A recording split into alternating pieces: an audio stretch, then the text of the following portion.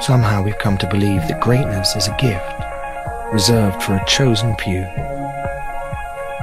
for prodigies, for superstars.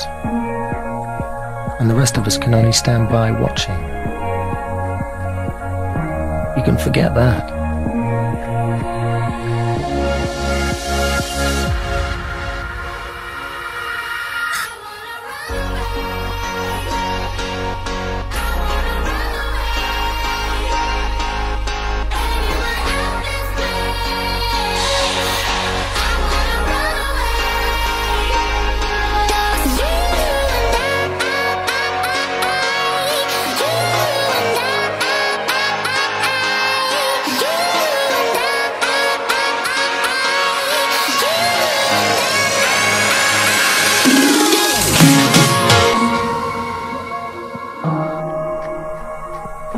We're all capable of it.